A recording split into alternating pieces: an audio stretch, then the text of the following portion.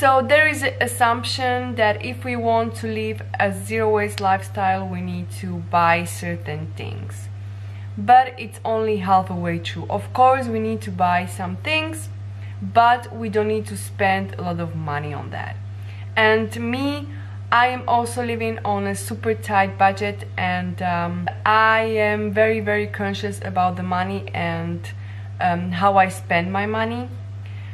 Um, also, um, I know about environmental issues and minimalism taught me a lot and especially to simplify my needs actually. And in this video I want to talk about zero waste on the cheap. If we still do not know each other, my name is Dominika and I make videos about low waste, minimalism and veganism. Yeah.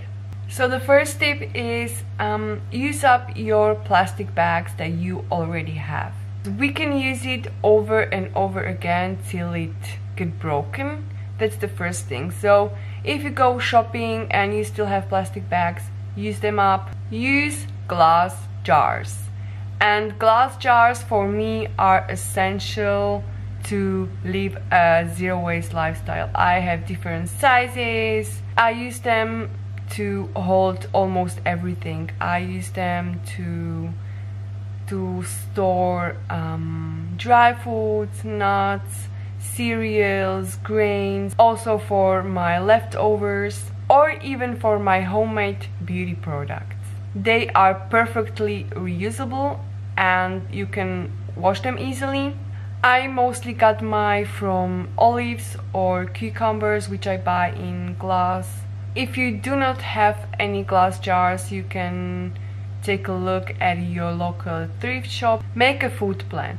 I know that for someone it might sound like, oh my god, it's gonna take ages till I uh, prepare something like this, but, but when you get your routine, it's gonna be much more simpler and easier for you. You just need to plan a little bit and be a little organized what you can do, you can also prepare some recipes and this will definitely simplify your purchases, simplify your meals. So the first thing is that you should make a checklist of all the foods and meats that you want to eat next week for example and you will less like to leave a store with the things that you don't actually want to buy. If you are low on cash I know that you cannot afford to go to restaurant every single day. That's why you need to simplify your meals. Choose meals with a lot of nutritions but simplify and use only some ingredients this will also reduce your stress because you do not have to think about what you're gonna have for dinner. Make your own produce or bulk bags. If you, for example, do not have um, extra money to buy cloth bags, you can simply sew your own ones from, for example, your old clothes or pillowcases and stuff like that. You can also, for example, find pillowcases and uh, old fabrics in uh, your local thrift shop or at a second-hand store for a lower price. Also simplify your non-food products that you use. We easily come reliant on some products, especially cosmetic products. Think of your products that you really need and also decide which product you can make on your own at home and for a lot less money. I completely cut out brand name um, creams, face moisturizer, body butters, stuff like that. For me also a plus is that I am not using any makeup or something like that so I, I am not buying this stuff. Most of my cosmetic products I make at home. Um, for example, like lip balm, body butter, deodorant, and things like that. It saves me a lot of money and it also actually saves a lot of trash and waste. Try to buy secondhand before you buy something new. Well, let's be honest, almost everything we can buy at secondhand store. I mean, not food and cosmetic products, but um, like things like furniture, kitchen supplies, kitchen machines, even clothes you can buy at second hand and at the cheaper price. Grow your own herbs. And for this you don't even need a garden or a balcony because on your windowsill you can simply grow your own herbs. For example, basil, sage, um, cilantro.